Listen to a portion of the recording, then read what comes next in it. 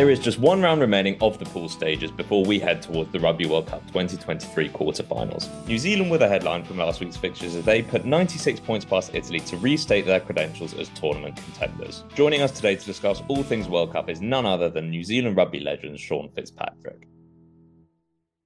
Before we kick off this episode of the pod, I just wanted to give a shout out to our friends at Keith Prowse, the UK's leading provider of corporate hospitality experiences.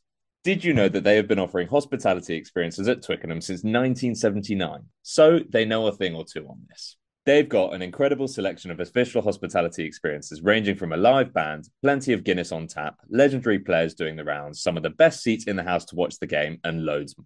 So, if you've got a special occasion coming up that you want to celebrate or a key client you're desperate to impress, make sure you get in touch with Keith Prowse by visiting their website, keithprowse.co.uk forward slash Twickenham. I've heard that they're almost sold out of their island packages already for next year's Guinness Six Nations, so I suggest that you guys hurry. Tournament favourites, you mean? no, we're not. As I said the other night, don't start talking about us now. No, well, we had stopped talking about you a little bit, and I think we were all yeah. guilty of. We're good. We're, we're quite happy with that. Well, how's, this for, how's this for a proposition, Sean? Jordie Barrett makes all the difference. Yeah, both those Barretts are crucial to us. Him and uh, his brother Scott is probably oh, more yeah. important, actually. He's probably, I, I think he's probably the number one lock in world rugby at the moment. Massive energy, huge. Oh huge my energy. god, just, just yeah. keeps going, doesn't he? Yeah, yeah.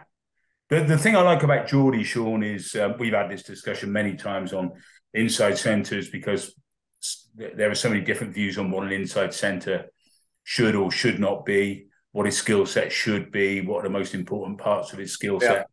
Yeah. And Jordie seems to me, because he's got a game manager's background and he's got that tactical kicking game and he passes long and short and he's big enough to get you through the traffic. Yeah. If, if you were inventing an inside centre in a laboratory somewhere, you come up with someone who looked a bit like him. Yeah. You? Yeah, no, he's good. He's been been very good for us. We we need him to play, and I think you know once we once we get into it, it became very evident that we we need basically those 23 that were there on Friday night. We need every one of them fit because we we if we lose him, we're in real trouble. If we lose we lose Scott, we're in trouble. Um, we lose Frizell, we're in trouble. Mm. Uh, so how, how yeah, good is he? I mean, his his yeah. his uh, his his uh, graph or whatever it is, his curve is almost vertical yeah. from where he was mm. a year ago, I would think. Yeah. Very good. Well, that's the intro pretty much done. There's sort of no further introductions needed to be made. Sean Fitzpatrick, it's great to have you with us again. Um, Thank you. I'll sort of re-enter the discussion at the Italy front. Um, may as well start with none of us saw that coming. Did you see that coming to any extent, Sean? You expected a performance, but nearly hundred points past the tier one nation. Yeah, I didn't. I didn't quite see that. I've. I thought it was sort of listening to the the commentators and and the commentary coming out of the the press conferences. Italy not once said they're going to win. Um, they're going to compete, uh, which sort of, sort of, you know, watching it now, you think back and you think, yeah, they don't they don't play against the All Blacks often. Uh, where when they play France, Wales, Ireland, uh, they play them every year, so they know what to expect. They're not scared, and I think with the All Blacks, it's just a bit of that unknown that we haven't played for a long time, or not regularly, and I think they sort of, you know, they struck an All Black team that was, you know, needed to bounce back and you know, given the break they had, they did a lot of work in, in Bordeaux. They had a, had a had a big three or four days in Bordeaux, lo- loading a lot of lot of information and a, a, lot of tactics, a lot of you know things that they used actually against Italy, and a lot of that came off. Um, but I, I, was really impressed. I thought the All Blacks, you know, they just did their job. They, you know, the experience they have in the team, their set piece was outstanding. Uh, their discipline was a lot better than what it was against the French uh, in that opening game. And we had the, had the guy, we had full, you know, Foster had an opportunity to pick a, a team from the, the 33 rather than just, you know, having, you know, not having Frizell there. And that opening game was a big, a big loss. uh, and and also against the South Africans two weeks earlier. I think that was a, a big loss. But to, to have Barrett back, uh, to have Retallick back, although he played 20 minutes um, in the previous game, uh, he he just commands respect and and the the way the line out operated, the sec, you know the scrum operated, um, just gave gave the Aaron Smiths and Mo'unga a great platform to work off. But in saying all that, I know for a fact they're not getting carried away. They, they know they've got a massive job in front of them, and um, they're just going to go about their work quietly because no one's talking about them, which is great. People are talking about them though, though now. That you still think that won't faze them? No, I don't think so. They, you know, they've, they've got enough experience. I think they had over 400 caps sitting on the bench against Italy. Uh, so they've got plenty of experience. And when you look back to 2015, which I, I, personally thought was the best All Black team to win a World Cup, uh, I just thought that team was outstanding. Right, right, all 33 players, not all 31 in those days. And I, I, can just see a little bit of that now in terms of the bench. To have a Whitelock sitting on the bench, um, to have a Sam Cane sitting on the bench, um, to have a, a Taukei'aho, who I, who I, think is an outstanding hooker, um, possibly sitting on the bench, um, just bodes well. And the bench is, is proving that last 20 minutes, 30 minutes of a game, if you've got a good bench, it seems to be making a difference in all the big games. Um, that bench, um, if your players can't go 80 minutes, and uh, it's lovely to see Ireland actually produce a couple of the big boys went 80 minutes, which I thought was phenomenal. I thought I thought Porter was outstanding. Um, but if they can do that, well, that's that's great. Um, but you need you need guys off the bench that can have a real impact. Sean, you never spent very long on the bench, as as Warren Gatland never ceases to remind everyone uh, when he's not speaking to the Samaritans about it. It's um, uh, with with the Sam Cane thing. Uh, is there is there an issue of having your uh, your, your your captain, your group captain, more often than not your match day captain, if he's not going to get in the starting lineup, and I guess there's a decision to be made there, does that cause any kind of problem in the group, or is that just absorbed? No, no, they're really they're, the group of professionals. No, Chris, they're a, they're a very tight bunch. I, you know, sort of spent a bit of time with them pre the World Cup, and they are very focused. You know, just just take the hookers for example. You know, you got Codie Taylor, Dane Coles, and, and Taukei'aho, uh, Taukei'aho, and the three of them are like three brothers. They are just doing whatever it takes because all three of them can't be on the bench or on the on the starting twenty three. But just you talk to Dane Coles and he he is like, I'm going to do whatever it takes, whatever it takes. And if I'm not, not on the twenty three, doesn't matter. I'll do whatever I, I can do to help help the other two to make sure they're ready to take on whoever.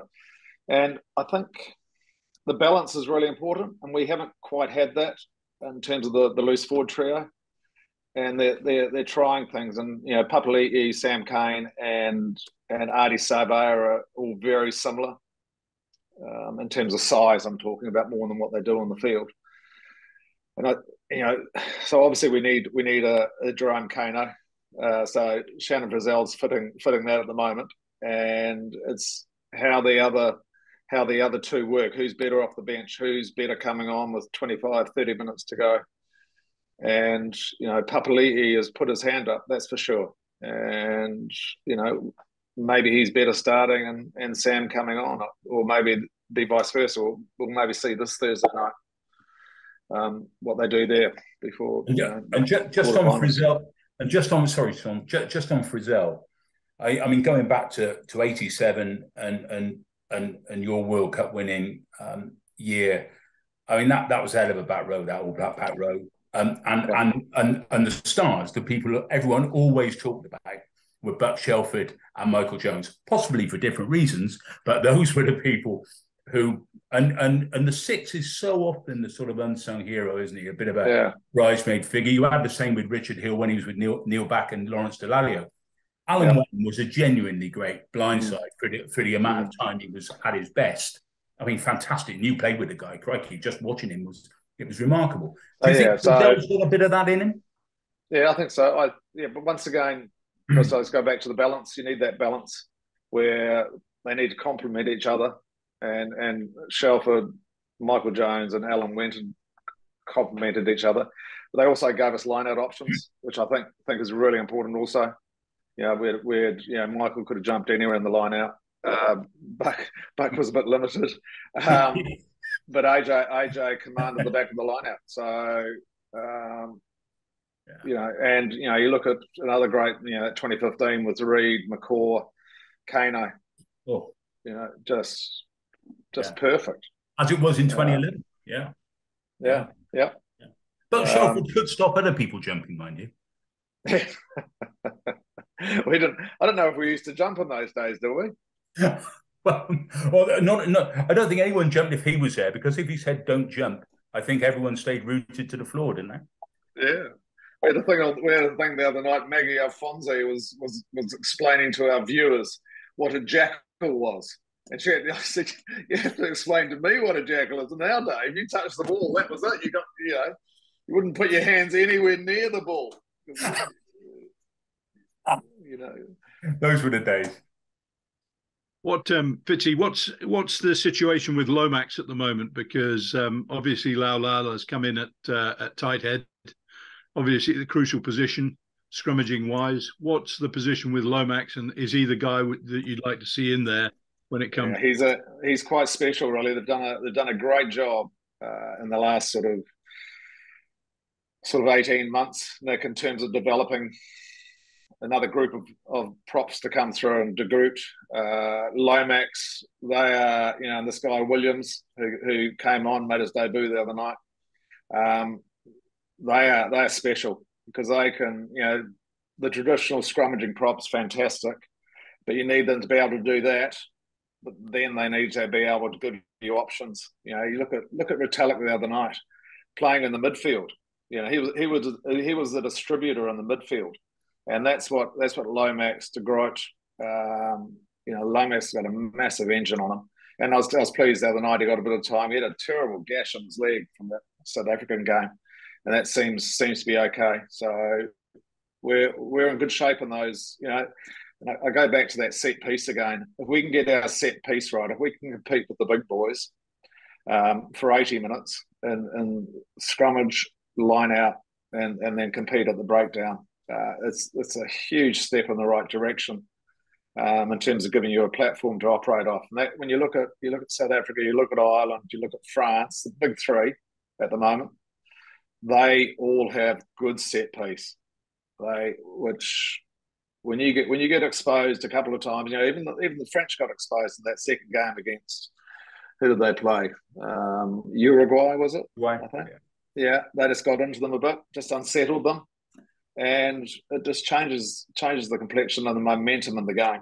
What, how much has changed um, with the All Blacks? Do you think since uh, they were beaten by the Irish? in uh, the series in New Zealand. We, we were saying it the other night on TV. Actually, it's been it's been interesting listening to the commentary in terms of of how the All Blacks deal with it because they've been asked questions which we we've never been asked before in terms of have we lost our aura?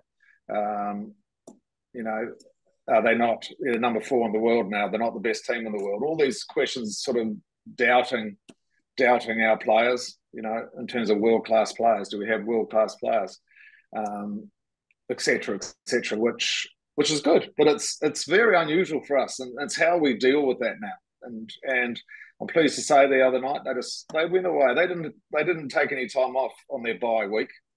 Um, they weren't they weren't going to Disneyland and all those sort of places.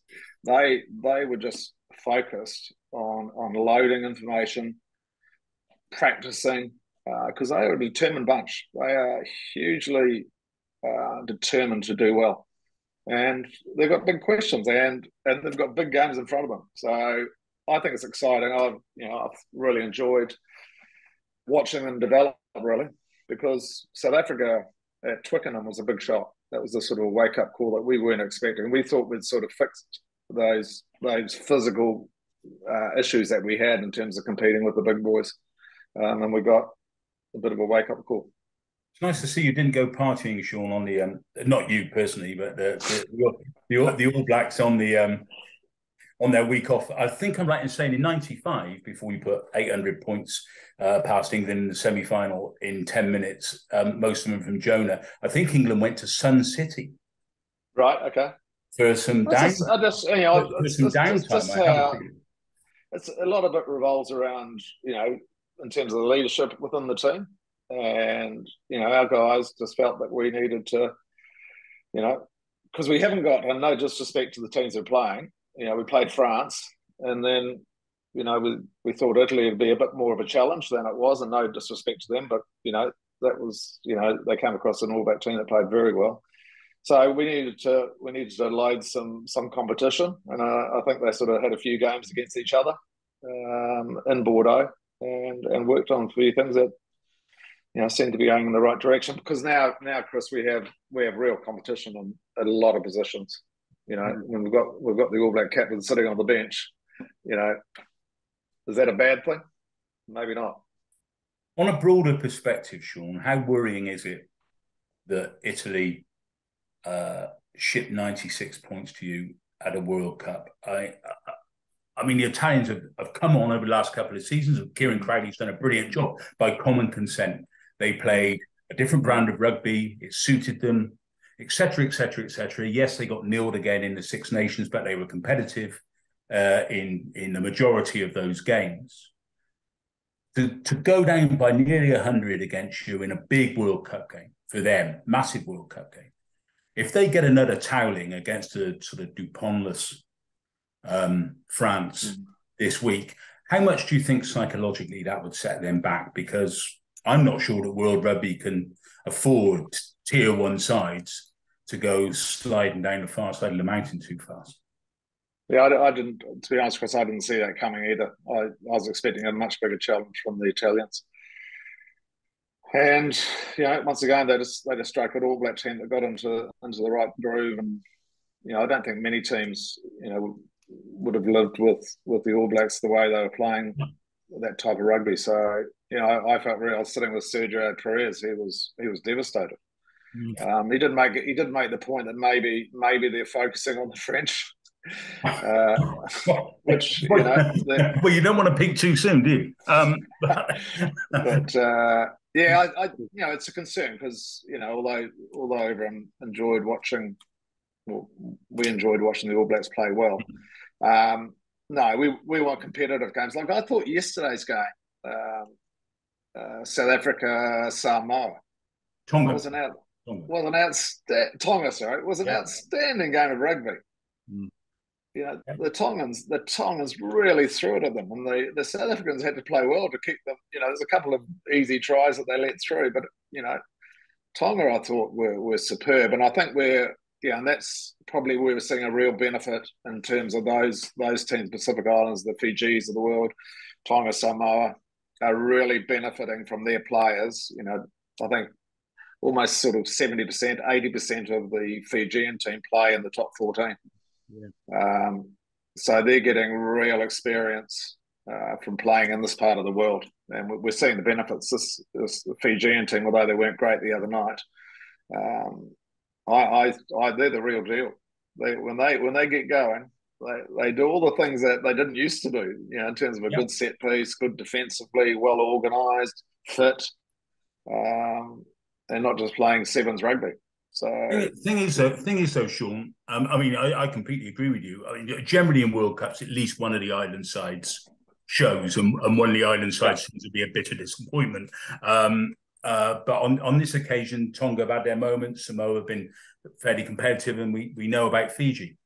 But um, a lot of it's down to time preparation, and a lot of it is down to exposure to the top level. And with this Nations Cup idea, with the with yeah. the theoretical uh, ex, um, theoretical exception of Fiji, who we think are going to be part of the twelve. It's mm. not for sure, but we think they're going to be part of the twelve. Mm. Those other sides aren't going to get a tier one match for eleven and money. They're going to get fewer well, tier one matches than yeah. they have now. Yeah. Um, we saw that with the Argentinian game. Who did they play? Argentina played Chile. The last Chile. Who? Chile. Yeah. Chile, yeah. What Argentina had had 34 games since the last World Cup, and Chile had had 10. Yeah. You know, internationals. Um, do you know the other thing I, I really like about Fiji is a gentleman who I used to play against, a guy called Simon Rauluni, uh, is coaching them.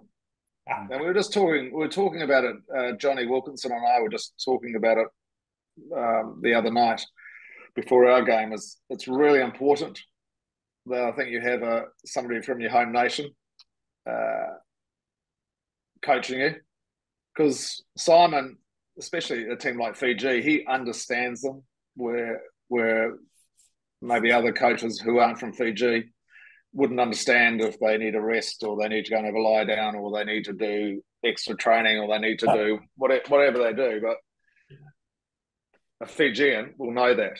So Simon will be, you know, and it's and it's paid dividends. He's, you know, which I which I think is a really really nice thing he seems so calm with everything yeah, well. Just, I mean, yeah, I, mean yeah. I mean, we, we've seen Fijian coaches in the past. Some of them sort of New Zealand. Dave Waterson, I think, was probably he was sort of in, involved with one of the island side, certainly at World Cups, and it was just like. You know, you like the blue touch paper. After a game, he'd rant about the ref, or he'd rant about the uh, about the schedule, or the inequities of the whole international system, all that stuff. And and and Simon just seems to be completely comfortable in his own skin with that particular side, and as you say, knows how to press their buttons. Yeah, and they're, they're winning.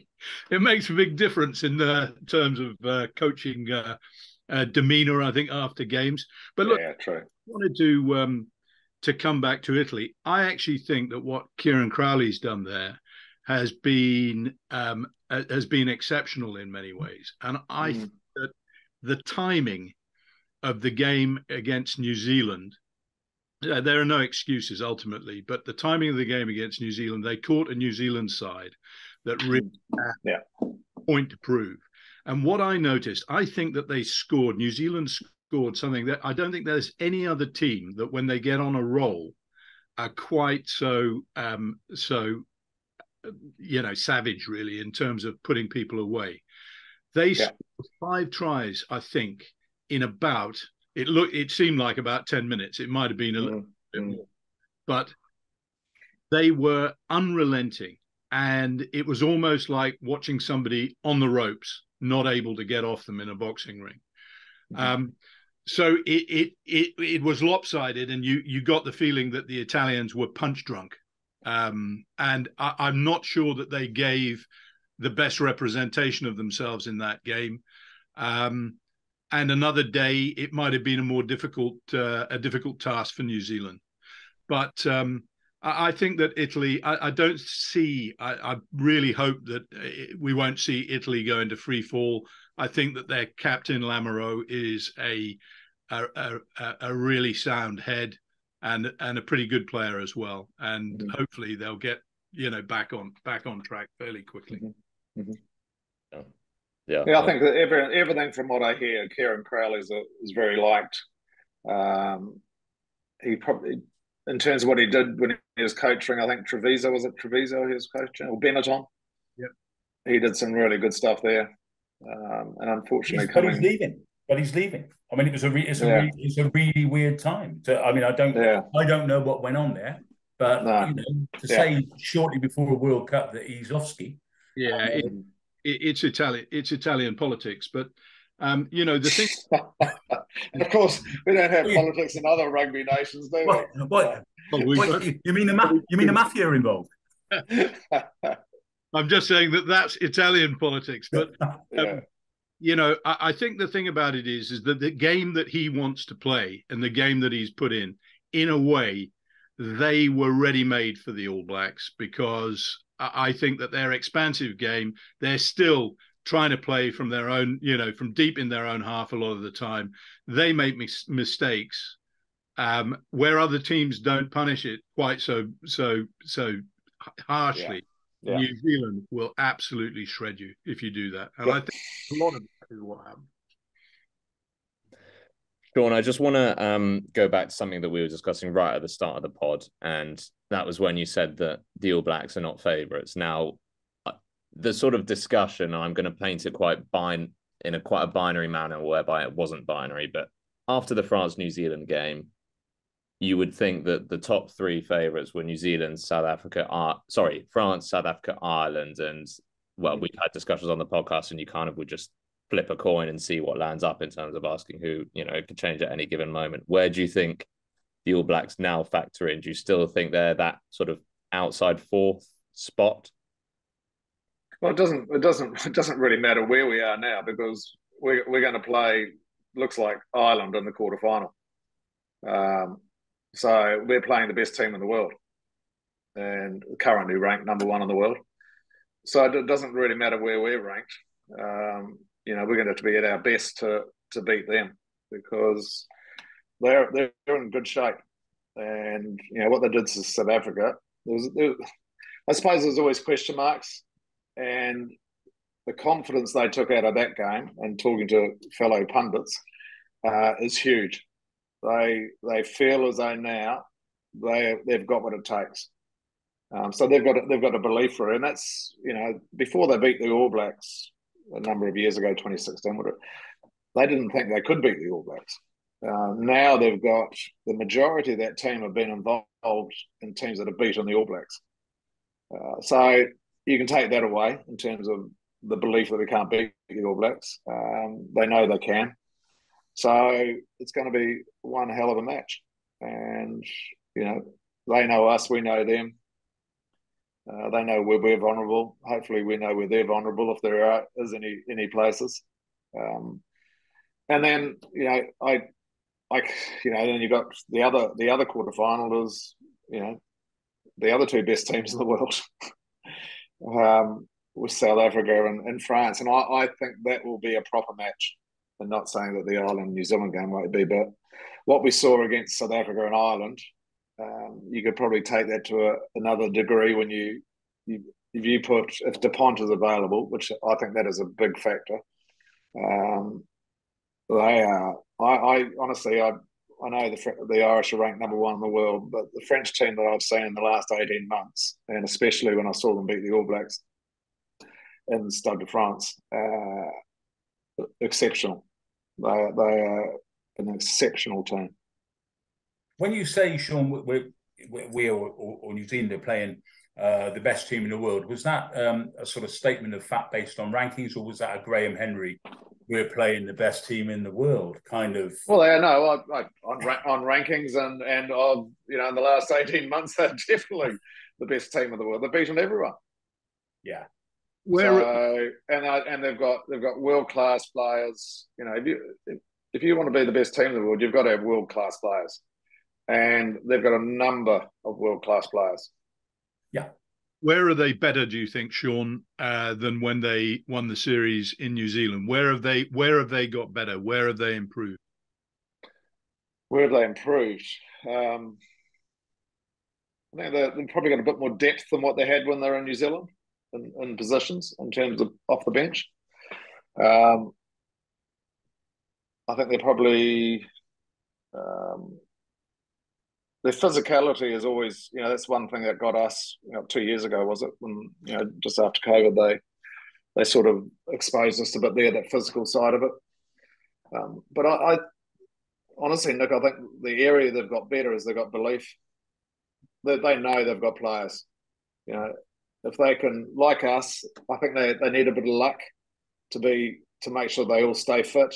If they lost a Porter or a Furlong or a, or a Johnny, and like France, you know, losing Dupont is going to change the shape of their game without, without question. So it, they all need a bit of luck, really. And we, we need a bit of luck. As I said right at the start, I said we need our best 23. I thought two big steps, two big steps up for them against against South Africa, Sean. Uh, one was that Josh van der Flier, who, I mean, he, he wasn't World Player of the Year for nothing, but I, th- mm. I thought he'd just been two, three percent quieter in recent matches than he had been when he was absolutely playing the house down. I thought he was right back on it, right back on it against South Africa. I thought he was terrific on both sides of the ball. And Bundee Aki, that that's got to be a mm. massive difference to how Ireland are playing. I mean, he's he's yeah. just in the form of his life, isn't he? Yeah. that's Three Kiwis, very good ones. Jamison Gibson and Lowe. Uh, they're they're yeah they've they've been they've been outstanding. You know, James Lowe is just phenomenal. What he's what he's been doing is you know, no, I yeah, you go through the whole whole, whole team, Chris, and you know you it's hard to go past each position without saying world class. You know, I think so, Sexton's on a mission as well, Sean. I um, you know, he, he's from now on, he's one game away from the end of his career, and I yeah. think he's in a bit of an inspired mood. And actually, he seems to have learned something in old age. I, that match against um, South Africa, he captained was brilliant. His captaincy was brilliant. Um, and at one stage, he was talking to Ben O'Keeffe, and Ben O'Keeffe was coaching the box. He was doing the the old um, "you're offside, stand back, get back, number nine.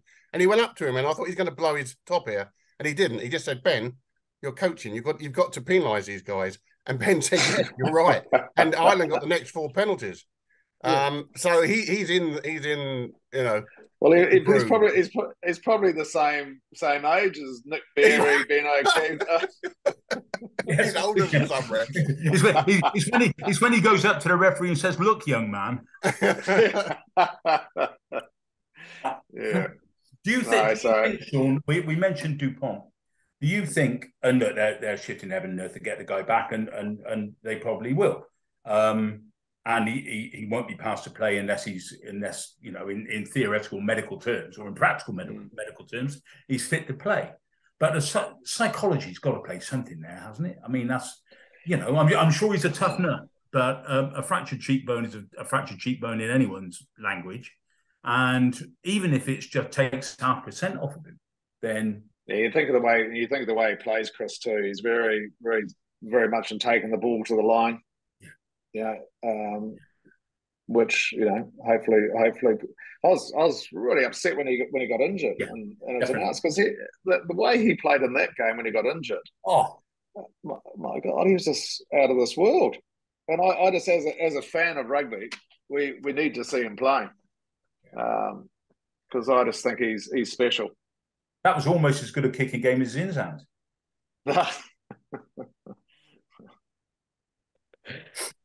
Sean, you've mentioned where Ireland are strong. Obviously, as a New Zealander yourself, you've got to go into that game thinking they're beatable, despite having beaten everyone, like you say, in the last 18 months. In what scenario are they beatable? What has to happen for the All Blacks to beat them? Well, what needs to happen is the All Blacks need, need to play well. Uh, it, it would need to the teams that are that are playing, you know, you know France against the All Blacks and in the opening game um, we had opportunities that we didn't take in that first half. Um, they didn't play that well in the first sort of 50 minutes, uh, but they just stuck at their game plan. They trusted their systems, um, and which is very, very un-French from my day, and and they they got the result. And and unfortunately, the All Blacks just couldn't get into the attacking zone. They couldn't get into the 22. Uh, they you know, they gave away a lot of penalties, and when you're giving away a lot of penalties, you, you can't build pressure, and that's that's what the Irish do so well. They just don't don't make mistakes. The South Africans are the same when they're on their game. They just keep building pressure, just keep knocking on the door, knocking on the door, and eventually the door opens. And that's what you know the Irish have done so well in the last eighteen months, um, and and they're fit. You know they're they're, they're fit. You know the the French are fit, the South Africans are fit. Mm. Yeah. You, you, luckily, the All Blacks are fit. Yeah, it's interesting, Sean. You've you've obviously got the Uruguayans. Um, they've got Scotland, Ireland. Yep. Yep. That's um, you know significant. Uh, uh, the Uruguayans are a, a, a, rugged side, no question. But um, the Ireland Scotland game is do you do you consider it to be a potential banana skin yeah.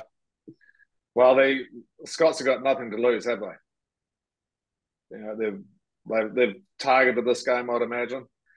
Um, Ireland's come off some big games, so you know, and then and then six days later, they're playing a quarter final. If yeah. whoever gets whoever gets through there, um, and it's so, not afford to rest people really against the against the Scots, you you you'd think the Irish. I, I, would imagine the Irish will play their their best team. They have to. You know, this this Scottish team is very capable.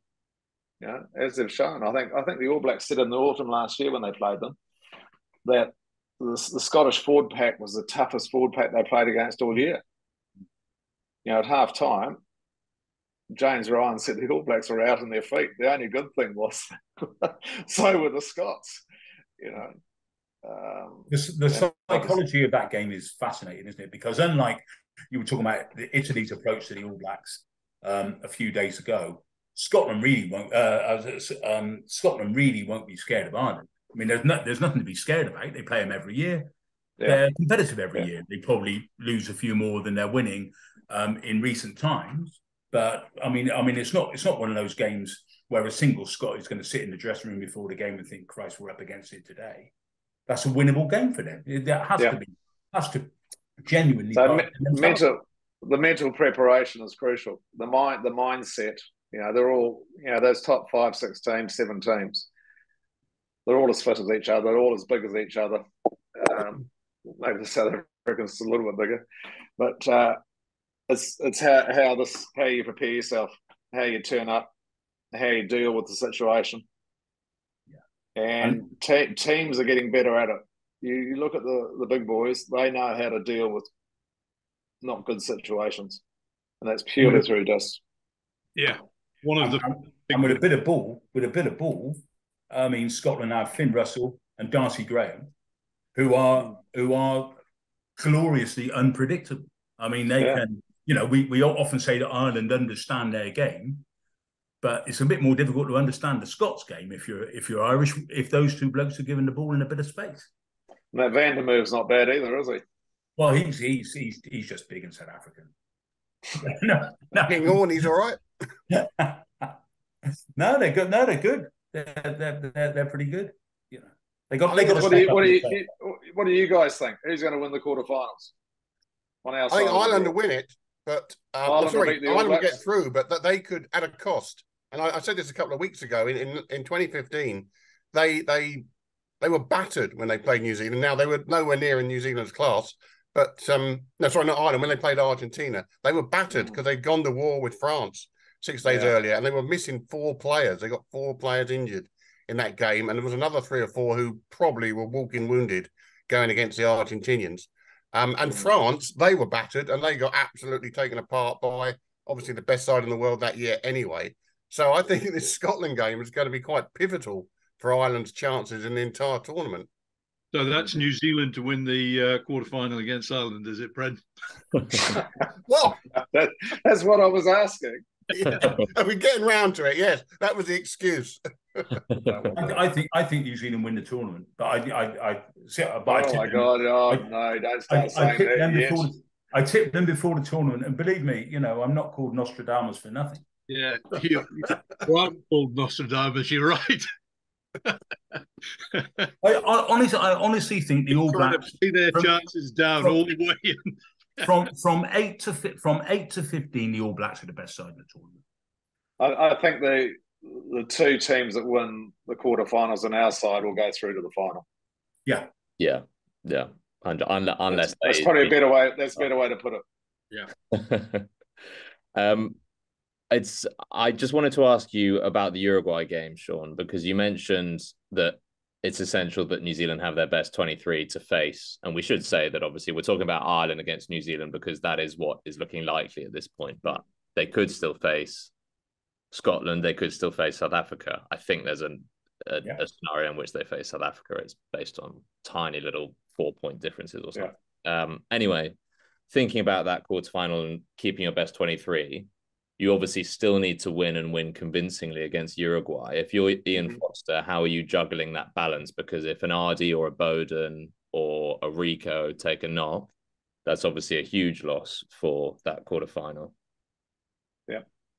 I think he, I, I think against Italy they, that was their best twenty three. I think uh, so. They've, they've they've done that, um, and now it's an opportunity to to give some other players game time, and you need to win a World Cup. You need thirty three players, and you know whoever gets the job, whether you're asking whether he'd play his best twenty three again or close it, or rather what we saw against. I think well, there's certain combinations that he want to want to see. I thought I tell you who played really well against um, Italy was Roigard, the nine, who's you know he may he may, may get an opportunity to start, um, just to to give him a bit of. Um, Damian McKenzie was good again, um, so so off the bench he, he's shown what he can do. Um, and that's when you look at 2015 again, our bench was outstanding. Um, you know, Beauden Barrett was off the bench in 2015. So um, there's enough enough players there to you know without having a drop off in performance. But they need to they need to play well again. Just need to keep keep the momentum going. The momentum shift has, has come back again, and we're you know we're in we're in good shape. Uh, we've got no injuries from that game, which is great. And you know we don't need any cards. That's you know cards cards could be a killer in this last week. So we need to be really careful. Yeah. Just talking about about All Blacks who've sort of come come from nowhere almost. the, the guy on the wing, Mark, has been playing. Yeah. He's probably been the he plays for the Blues, uh, Nick, and and and he's probably been the form winger in the country this year, and even last year on the he, uh, last year he was was outstanding also. Uh, but he just you just can't tackle him. He's he's like he's slippery and you know, but just you know when you think you know you've got um, Clarke, uh, Caleb Clarke sitting there hasn't, hasn't sort of featured really. Played one game, I think. Um, we've got some very good wingers. You know, I, I, still see Will Jordan as a as a fifteen. That's probably you know he's he's just been outstanding on the wing, and he and he gives us that kicking option along with Bodie uh, Barrett. You get you know Will Jordan. You got then you've got uh, Jordie Barrett who can kick at twelve, and then Mo'unga also. So we've got four four first receivers that can can kick, um, which is a which is a huge plus. Sean, I know you need to get going in a couple of minutes. Um, Sam Whitelock, very very quickly, obviously one of the headlines from the last game. Um, could I just get you to sort of sum up that sort of achievement? Obviously, seven years ago or whatever it was when Richie McCaw um, retired with 148 caps. We didn't think it would probably be this no and it has been. So yeah, just sort of sum it up. He's just been a, he's been an amazing servant of the game in New Zealand. He's you know he's been a one club man. Uh, played for the Crusaders, done unbelievable things with the Crusaders, and and he's he's one of our great All Blacks without without question. Him and him and Brodie Retallick have been the heart of of the All Blacks scrum for so long. Um, so yeah, I take my hat off to him, and he's once as we said at the start, he's he's just happy to be part of that 23 and whatever whether it's off the bench or whether it's starting his his leadership is crucial. Just his his wiseness uh, he's only 34 years old. Um, so you know he'll be doing everything he can to to get another world cup. And the notion that he could be the first player to win three? Yeah true. Yeah.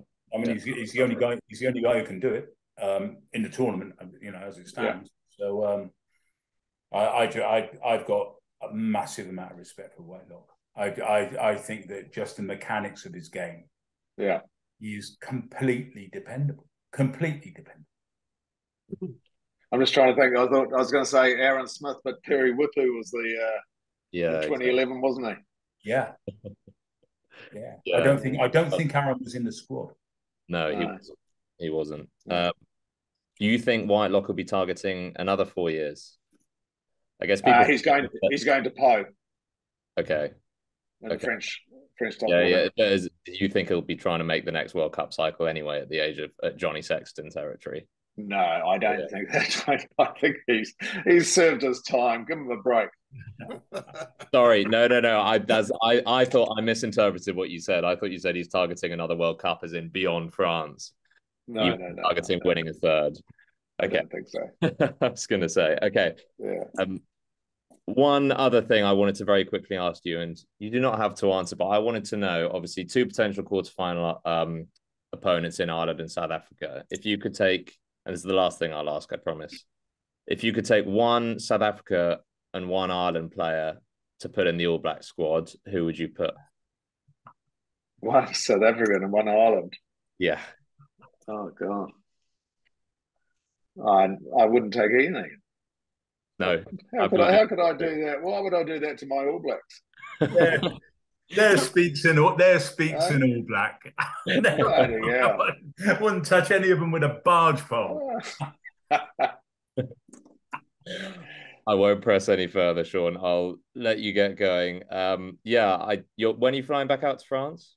Uh, we're there for the quarterfinals. There we go. We catch train across there on the Friday.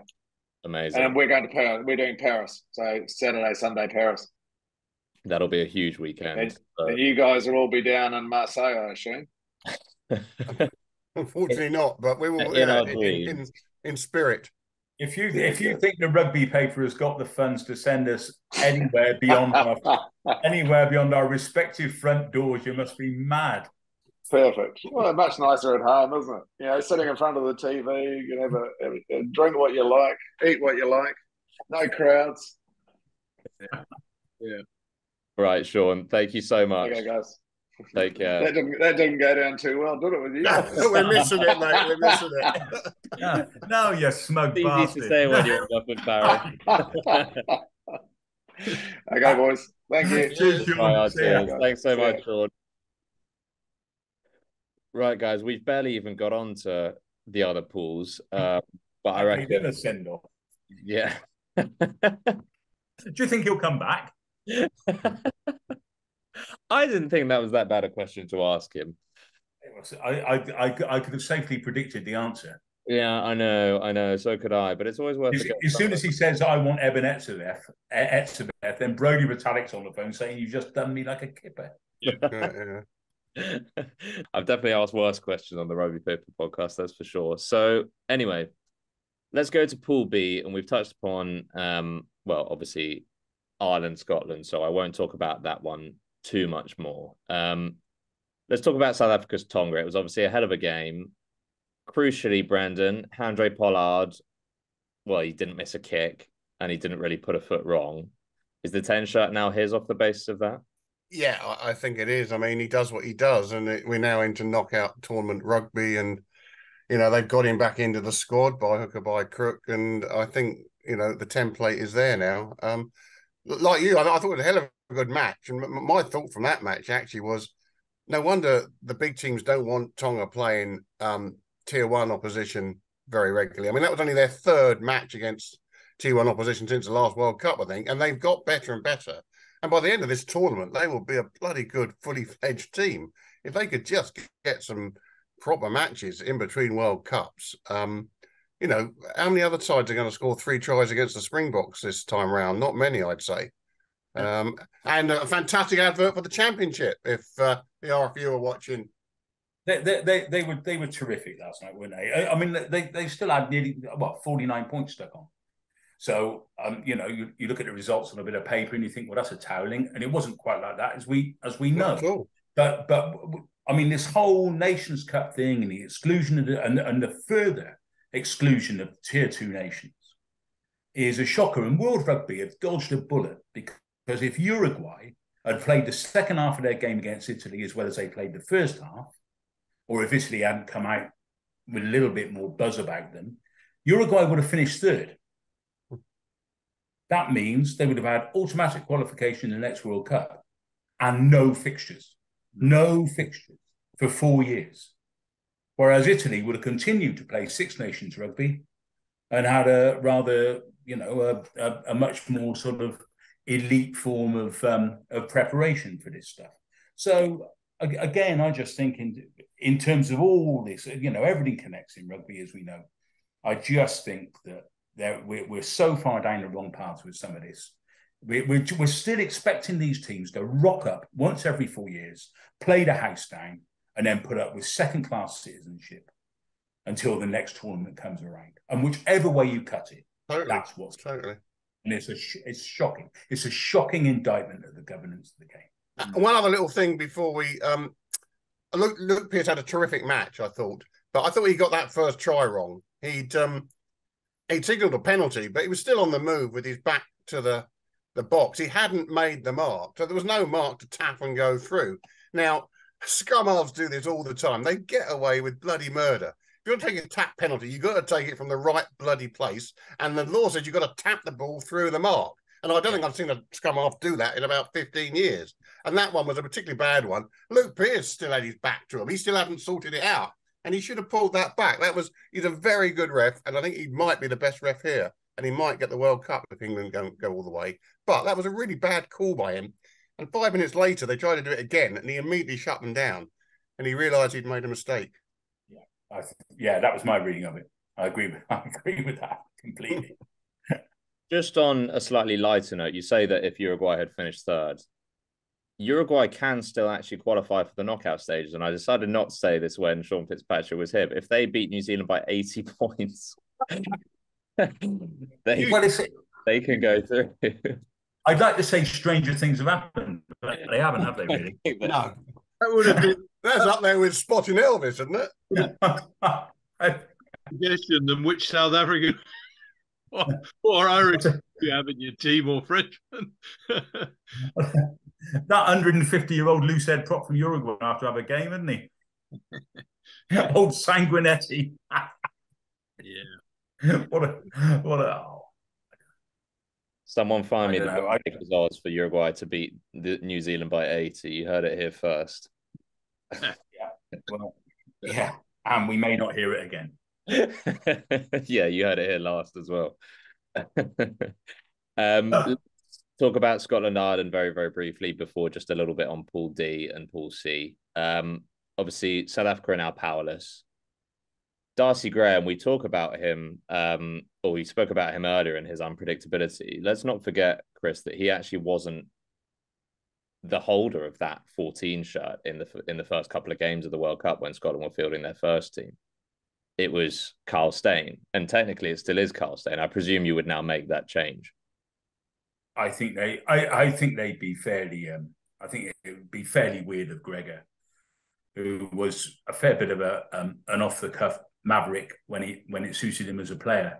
I think it'd be very strange if they didn't pick Darcy Graham because he's a he's a spark. I mean, for Scotland to beat Ireland, and, and we've talked so often about the Irish understanding their own game and they're, and they're quite process driven. That's not to demean them. Some of the great sides in, in rugby history have been process driven.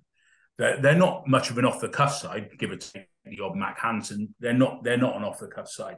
I don't think Scotland I don't think Scotland out process them, but I think Scotland do have it in them to ask some questions that they don't expect to be asked. And one of the pe- people who is best equipped to ask questions like that is Darcy Graham.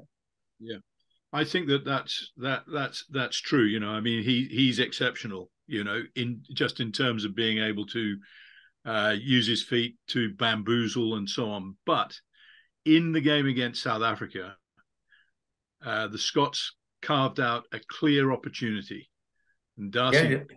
missed an overlap. And those are the sorts of opportunities that they cannot afford to waste against Ireland if they're to stand a prayer. So, you know, I I I I think Kyle uh, Kyle Steyn has been playing extremely well and I, I wouldn't have seen him missing that overlap. So I, I think I, I, think that it's a, I think that it's a it's a it's a difficult selection. What you would say is you'd want to see both of them on the pitch at, at you know at some stage for sure. Well, I, I mean, and, and, in fairness, I mean, I know it was only Romania, and, and they've been tragic, sadly. Um, but you have to say that people like Chris Harris and and um, Hamish, I mean, Hamish Watson really did come onto the field like a bloke who's saying, I've got 40, 50 minutes to absolutely make a case for myself here. He, he played like an angry player, actually.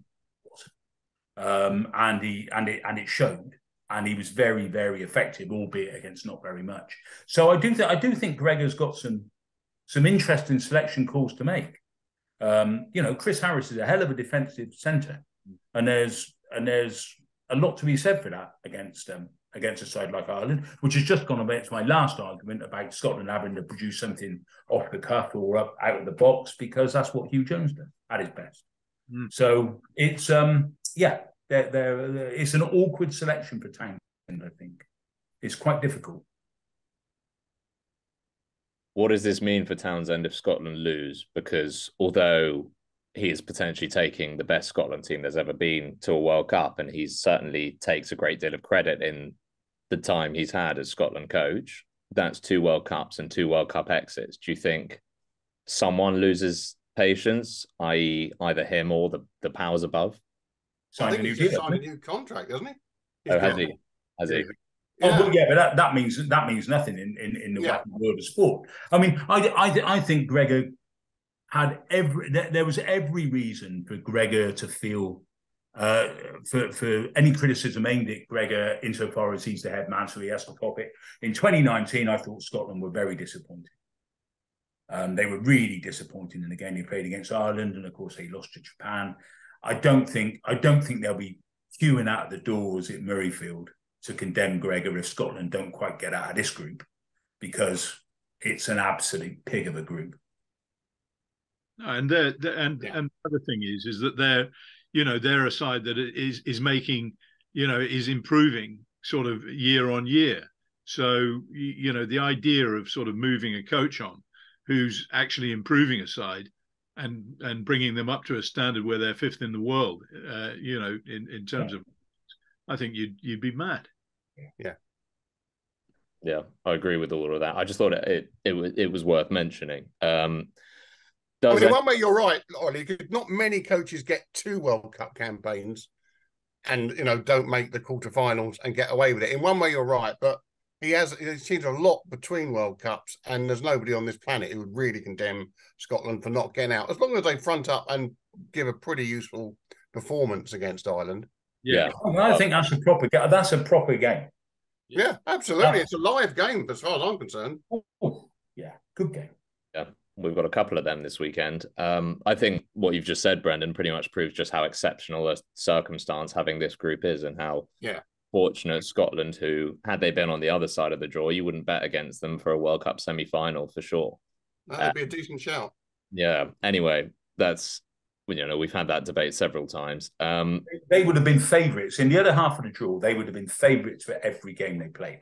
Yeah, exactly. Until they got to the semi final. Yeah. Oh no, sure. Yeah, yeah. absolutely. But uh, they would have been favourites against Wales or probably the Wallabies. In, in fact, Walker Old Boys would be favourite against the Wallabies at the moment, um, and and they, they they would have been favourites against the Pumas or and, pro- and probably England the way they went into the tournament. Yeah, no. so, so, they they have drawn the really crappy end of the stick in yeah. this. So England's games against Scotland, uh, Chris, you know, I mean, they would be favourites to beat England without a shadow. Wrong yeah, favourites. Yeah. England are their bunnies. Yeah, yeah, they are at the moment. How many in a row is it now? Oh, I don't know. It's three or four, isn't it? Yeah, it is something like that. Um, speaking of England, obviously, bit of a weird one. England have now qualified, um, and they did so without having to play a game this weekend. Japan ousted Samoa, which means Japan will play Argentina in what is effectively a shootout for that final qualifying spot.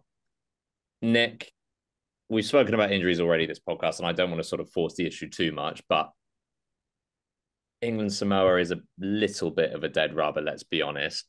Do you protect? Do you mix and match given that they've already had a fortnight off? Do you try and test your team for the quarterfinal? It's it is a little bit of an interesting one for Steve Borthwick. After a two week break, I think that the idea of England not putting out, I mean, there's still a, a, a big debate over what what England's best team is.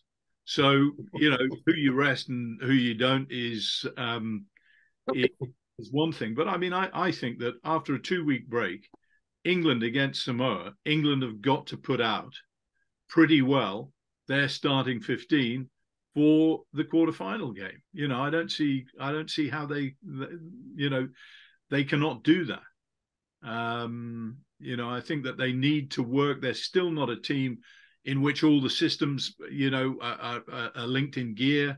Um, I, I, I definitely think that they need to uh, pick, you know, pick pretty well the the team that starts against if if if it's Fiji, which it looks like being, they've got to do that.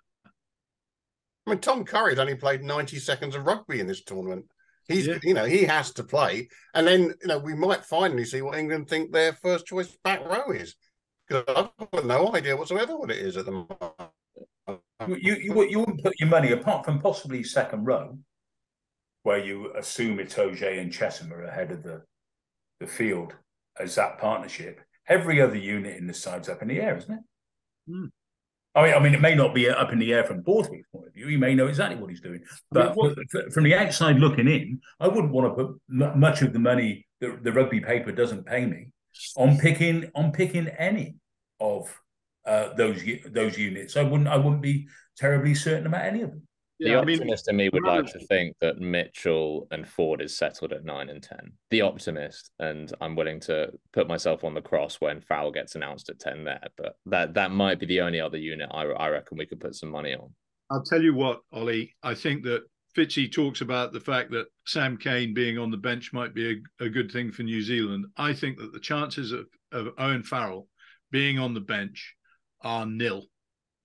I think he will be he will be in the starting lineup. I don't know whether he'll be at 10, but if he's not at 10, he'll be at 12. I don't see any way that Borthwick, given everything that he's said, I don't see any way that he's not going to be in the side. No, I agree with that. I just think he'll be at 12. Yeah, well, probably. But um, any, any, anyway, you're right. It's a good chance for um, England to get combination settled. Look, I'm conscious of time because we've been recording for a, an hour already, and I still need to get your moments of the round, your players of the round, and your matches of the round. Um, can I get two predictions off you guys? Japan, Argentina, and Scotland, Ireland, the two shootouts. First of all, is anyone predicting Scotland? No, but a hell of a match. One's I, I, I, think we're all backing Ireland. I, I, th- I, th- I think it's. I, I genuinely think it's a sort of 53-47 game. It's a little bit, a bit, little bit like the Scottish independence vote. Actually, it's one of those 52-48s or whatever. I can see how Scotland win the game. Uh, I, I, I just think that on the balance of probabilities, Ireland will be too organised and too precise and accurate for them. But if everything goes Scotland's way, then then it's it's a proper game. I, I go Ireland, but it's a proper game. If, if Scotland can take their chances, like Ireland will, then Scotland are definitely a, uh, a, a dark horse, and and they could win it, but they usually do not finish enough of their chances. Yeah, I think I agree with all of that. Um, I think if Scotland are clinical, they could pose it, but thank you for selling it because you're right. It is probably the game of the weekend and certainly one of the games of the tournament so far. Now, Japan, Argentina, I was on paper, Argentina are probably favourites. Is anyone backing Japan? Me. I'm, I'm going to lob in Japan just for the fun because Argentina have been totally underwhelming. I don't know what's up with them. Japan are getting a little bit ahead of steam. And what a, what a good tournament team they've been in 2015, 2019, and again now. So we could do with a bit of a a bit of a shock in this tournament. I'd just like to think Japan might nick that one. So um, let, let, let's go for Japan on that one. Chris, are you Japanning as well? I am. I am. I, I don't think Argentina have been very good at all. Uh, in fact, I think they've been really disappointing. Um, and I think, and and the the flip side of that is Japan have been significantly better than I feared they would be. Um, they've got they've got a bit of life about them, the Japanese. I, I, I, and they have the kind of game, precisely the kind of game that can you know, if Argentina are going to do the, the whole Carreras thing and, and start chucking the ball around and, and play a slightly more extravagant style than Puma sides of old, then Japan will love it. Hmm. If, if they if they pick Sanchez and say we're going to ram it up your shirts all uh, for the next eighty minutes, then Japan will struggle. Yeah, uh, uh, I'm not. I'm not sure. I'm not sure Cheika's in a Sanchez mood at the moment. Yeah, go for the I'll go for the Argies whether he's in a in a Sanchez mood or not. Mr. Sensible, Captain Sensible. Yeah, absolutely. You've got the lunatic fringe. yeah. Idiots at the back of the classroom. As, as I remember it, um, Captain Sensible, the bass player of the Damned, that was that that that wasn't a genuine description. that, that was irony, Nick. So for Nick Cain to be described as Captain Sensible, yeah. the world is. Uh, I like it. I like it, but I, uh, definitely I'll go with Argentina. I think that they have been really poor, um, but I, I, do think that they that, that they've got a performance in them somewhere. They got so many fans in France that they've got to bloody well raise a gallop. I think will be it. Um, otherwise, they'll be lynched. Certainly will. I'm I'm gonna go Argentina as well. So we're split two and two down the middle, like you, Nick. I think they've got a performance somewhere. Although I have to say, Japan did Japan's first tr- two tries against Samoa were fantastic. Um, so that'll be a good one to watch, and maybe potentially a more difficult one to call. Um, before I move on to the moments of the round, Brendan, I'm sure you'll want to sing Portugal's praises for some of the rugby they played yesterday. Oh, again, uh, what what a delight they are! Um, just just the basics, actually, the basic handling. Except for the last ten minutes, they dropped a couple of passes. They'll be they'll be ruined. But a breath of fresh air. Got absolutely nothing from the ref, who is a fine ref, and I've been singing his praises for a couple of years. But he lost it a bit, and he let Joy Neville take over. Joy Neville was having a nightmare as well. Missed a load of no arm tackles from the Aussies. Downgraded a yellow that should have been a yellow to a penalty. Um, and I think that was probably a penalty try as well. So they, they got nothing from the ref. That's not to say, I hate to say through gritted teeth. I mean, Australia are much improved from their first uh, couple of games or three matches. There was no there was no great um, injustice done, but it should have been much closer. It was a harsh harsh scoreline for Portugal, and yeah, they're, they're undoubted the crowd favourites without a doubt. They love them. Yeah, it was it was intriguing, you know, because the Portuguese seem to have changed one uh, one of their props or whatever. The Australian scrum was, you know, they were improved in many respects, but the Australian scrummaging was still rank. It was really poor, and you, you know, or Portugal are bloody good. Maybe, may, you know, maybe Portugal are good. My um, the there was one pass when they scored uh, the opening try the pass by their captain Thomas Appleton off his left hand um, was a 20 fizzer, absolute fizzer, wasn't it? Hit the the winger Betancourt at full tilt. It was a fantastic pass, one of the best passes of the of the tournament. So that's that's um, one of my highlights of the round for sure. Bettered only by Guedes Sousa's or Sousa's Guedes out the back behind the yeah. spin pass. That was a beautiful. Oh, look, had everything they've been a great, great um, uh, advertisement for the tier, tier two and for rugby. They played some terrific rugby, and um, they've they've also got a huge fan base, as far as I can see. In Saint Etienne, the, the, the stadium was almost all Portuguese, as far as I could tell. Unbelievable. Yeah, and obviously Fiji are going to have something to fear this weekend. That's a banana skin, isn't it? I, I, don't think it's a serious banana skin, but it's going to be a wonderful match. I mean, that it's going to be as close to a 15 a side seven match as you'll ever see in Test rugby. Yeah. I mean, Fiji looked to me against Georgia. I thought that the Georgians were really gritty and they really uh, put it on uh, on Fiji, and the Fijians showed what everybody's been saying is that they now have that set piece element to their game uh, that is is good enough to actually win games. What intrigues me is who England are going to pick to scrummage against Fiji, who've got two uh, front rows of equal caliber, both of which I'd say are currently better than England's. I'd say it's got to be the old men, Marler and Cole, to start. Mr. Sensible. Yeah, yeah, absolutely. right, guys, the time has come for your matches of the round. There, there isn't a standout, standout candidate this time. Mine would be South Africa versus Tonga last night, um, which I thought was absolutely brutal and great to watch. Would anyone like to add another game to that? Yeah, I'd, I'd listen. I, I mean, I'd, I'd say too. I thought that the Fiji Georgia was a really you know, it was a heavy duty physical game, and the Fijians were not playing well.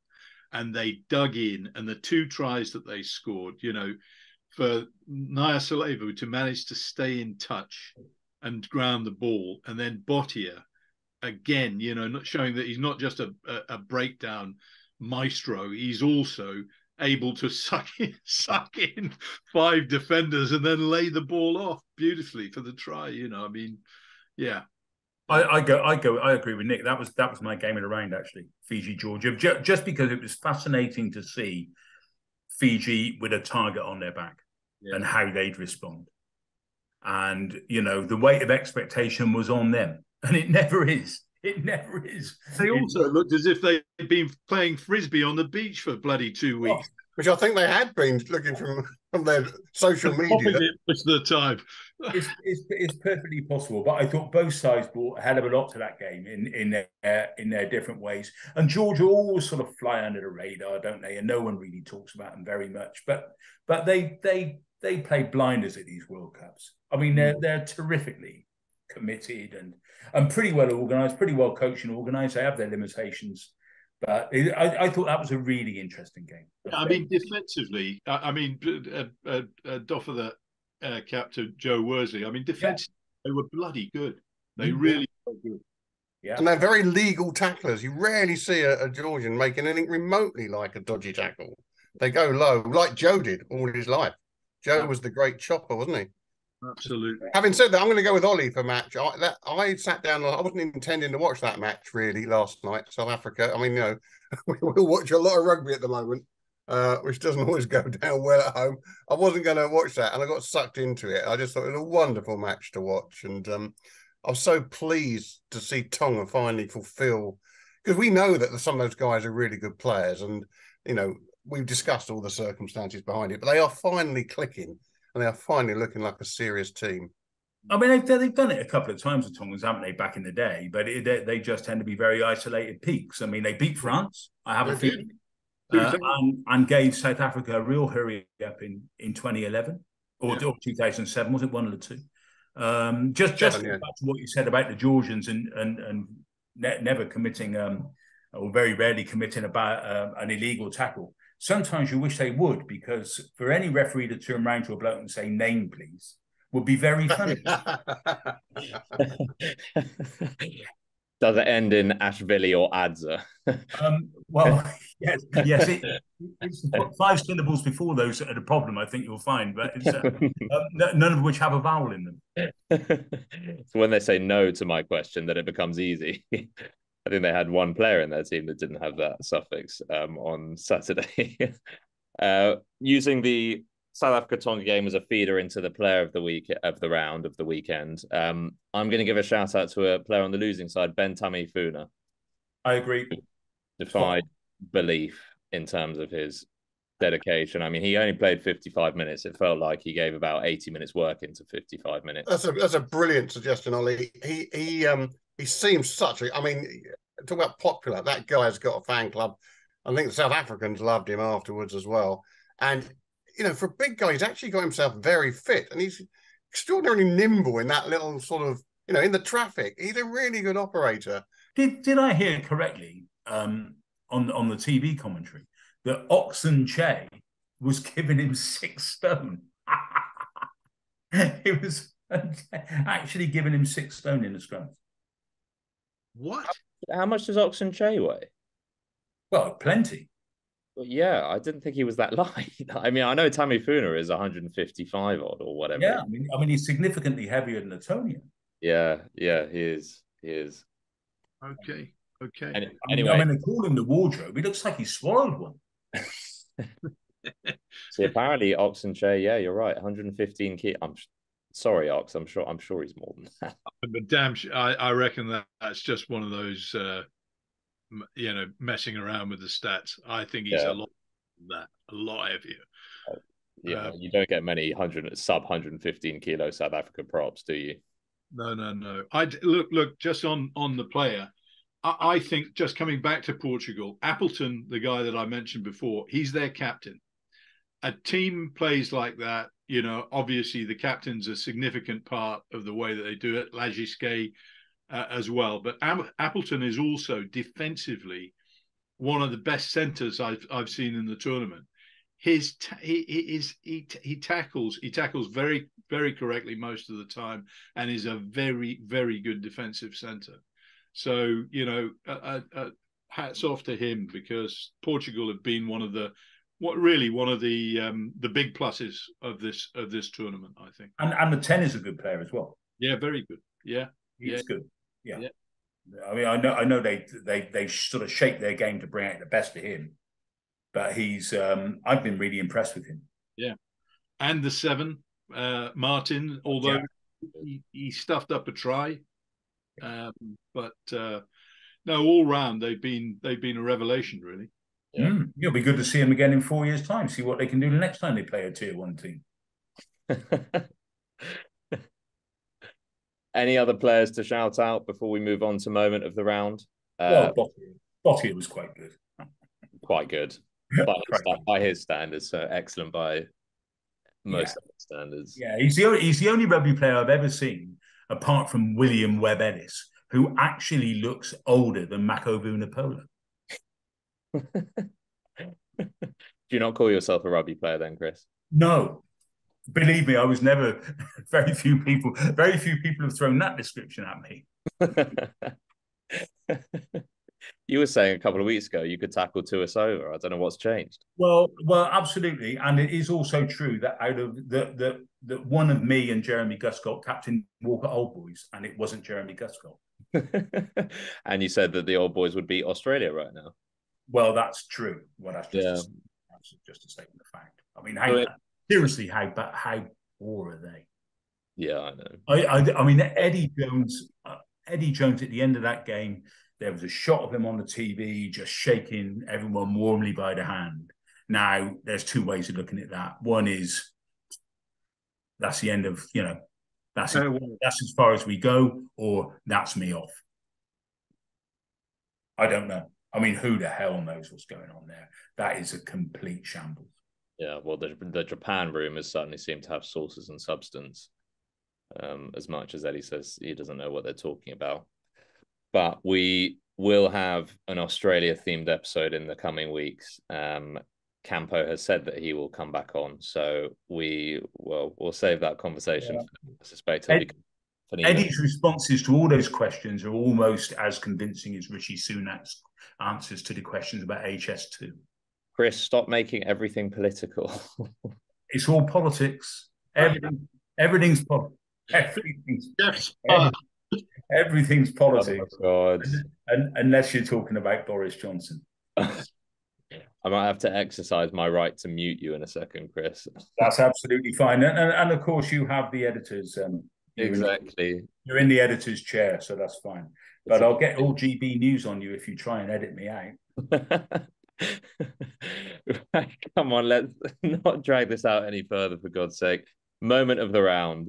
I've Mike given... Tadjer. Mike Tadjer. Nice. Absolutely. I mean, just just his last his last few minutes and what have you, and then just when he walked off the field to a to a great ovation, and it was thoroughly deserved. He played amazingly well uh, for for for Portugal. Absolutely terrific. Completely committed to the cause, and uh, had the warmest reception when he when he walked off, and, and that was quite that was quite touching actually because he played a house down. I'd like to underscore at this point that we aren't a Portugal affiliated podcast because we we have been very much Brendan, you're muted. We've already been doing this 90 times. Brendan, you're still muted. And he's still muted. oh, are we still muted now? No, sadly. I, I, just want to refute the suggestion that we're not affiliated to the Portuguese rugby union. We obviously are. I mean, and to be fair, one or two of us have been beating the bum, uh, the drum for Portugal for about three years. So this is not a surprise to some. no, not a surprise, no, but we are singing their praises for good reason, not just Portuguese bias. Um, Brendan, your moment of the weekend? Well, I'm very tempted actually to go with Chris's. I thought that was a lovely moment, as was Big Ben coming off last night. I'm going to go for a moment rather than the moment. Um, a classic sliding doors moment. 9 0 before half time. Georgia attacking, counter attacking, um, ball runs loose, and they run in for a try. For me, it was a it would have been 16 0 at half time. I and and Dickson immediately calls it forward. It wasn't forward. He, and he, he didn't stop to even think and consider the possibility he got it wrong. The pass was given a foot this side of the five meter line, was taken two foot this side of the five metre line. If that's a forward pass, you're going to have to scrub off 30 or 40 passes uh, tries already in this tournament. And that was such an important moment. If Georgia had gone down the tunnel 16 0 up, then we really would have had a test of what Fiji are made of. So just one of those moments, you know, it'll be forgotten. It's probably already forgotten with you lot already. But that, that could have been Georgia's World Cup there, that that win. And they'll be talking about it in 10 years' time, even, even if we aren't. Mm. Yeah, you're right. That would have been a landscape changer for Pool C, wouldn't it? Yeah. Nick? I've already given it, Ollie. What did you say? I said uh, Appleton's pass. Yeah, absolutely. Yeah. Awesome. Right. Well, that round. Oh, I haven't given mine. Um, I'm gonna go. Well, I thought all the. I'm. I'm gonna be biased towards South Africa Tonga again, which I've sort of used for all of my um, answers. But the the moments post game, South Africa Tonga, just all of it. Tameifuna and Kolisi's shirt swap, which was hilarious because Kolisi was then wearing effectively a dress. Meanwhile, I don't know what happened with Tameifuna putting Kolisi's shirt on. He was, he was wearing, a, wearing